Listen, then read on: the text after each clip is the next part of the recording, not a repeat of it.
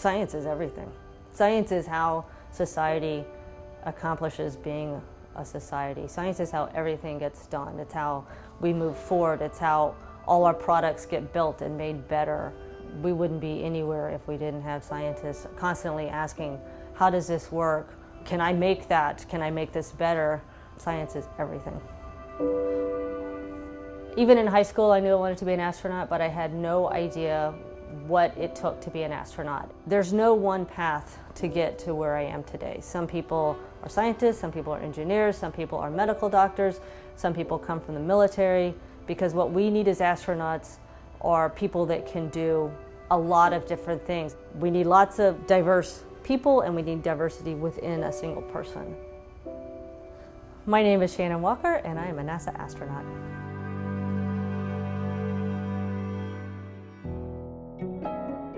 I was actually born and raised in Houston. And so having the Johnson Space Center in my backyard always stoked that interest for me because I was always aware of what we were doing and what was going on. I spent about six months in space in 2010. Um, my ride to and from the space station was on the Soyuz spacecraft and I was actually trained as the co-pilot on there. So I spent a lot of time in Russia training and understanding, learning how to fly that spacecraft. We will wake up in the morning, overnight the control centers have, have uplinked a schedule to us and what they want us to do that day is what we do that day. And it could be maintenance, it could be science, it could be rearranging the space station, it could be dealing with stowage, it's just whatever the ground needs to accomplish. And so you do a little bit of everything in space.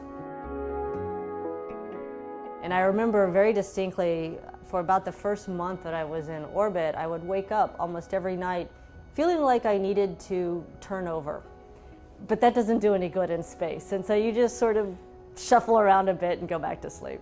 You know, we live on the space station and it's kind of a working laboratory. We've got a bunch of laboratories where we go to work and we've got places we sleep and we've got places we eat and we've got places we exercise. And so you just have a life that happens to be in space. And when you're in space, you don't feel the effects of gravity, so you get to float around all the time.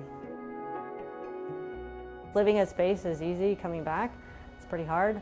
You have lots of aches and pains because you haven't uh, walked around for a long time. I mean, you float in space, and so we do a lot of exercises that keep us healthy, but you haven't sat down for a long time. So it gets uncomfortable to sit down for long periods of time because your body's not used to it. Since being an astronaut, I think I've gotten a little more outgoing because I need to to spread the word on what NASA does.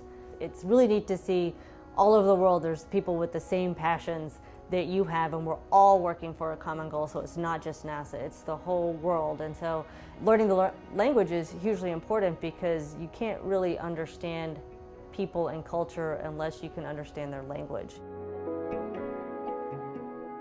We're still in such early stages of the human spaceflight era. Um, we're starting off relatively slowly but I think as time passes, we will just get more and more people and countries into space, and I think ultimately we will be truly a spacefaring world. We will be going to other planets and establishing bases and other places to live. I think that is where we're going to end up.